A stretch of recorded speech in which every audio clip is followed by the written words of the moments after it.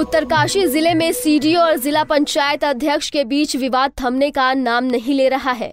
यहाँ जसोदा राणा ने सीडीओ पर गंभीर आरोप लगाते हुए एक ऑडियो क्लिप जारी किया है, जिसमें जिला पंचायत सदस्य दीपक बिजलमान जिला पंचायत अध्यक्ष जसोदा राणा से सीडीओ का ज़िक्र कर जिला योजना की धनराशि जारी करने के लिए कमीशन की बात कर रहे हैं।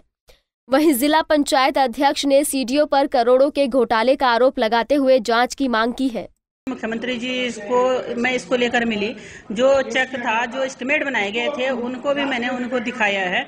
और उसमें मान्य विधायक जी भी मेरे साथ थे, हमारे यमुनोत्री वाले केदार सिंह रावत जी। उन्होंने उसमें जाँच के लिए लिखा और जाँच गतिमान है। और मुझे पूरा विश्वास है कि उसमें सही जाँच होगी और भ्रष्ट अधिकारी जेल के अंदर होगा।